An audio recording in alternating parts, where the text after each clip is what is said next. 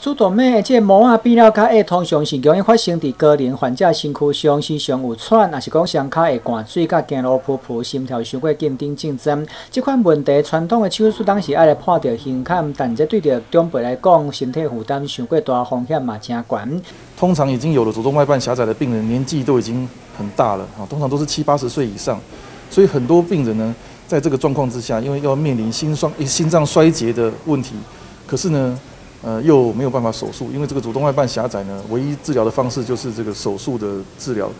今日也中心启用着副学士手术房，同时透过了跨科来合作，成立着这个 TAVI 的这个团队，负责着这类病人医疗服务，并且利用着颈导管主动脉瓣膜置换术这几档来，和五十四位患者重新找回着生命。那关于严重的这个主动脉瓣膜狭窄呢，我们现在可以用导管的方式。然后呢，把新的瓣膜送到我们的主动脉瓣的位置，经由气球扩张或者是自己膨胀呢，可以把旧的瓣膜推到边边，一个新的瓣膜呢就在里面哦，这就完成我们的这个手术哦。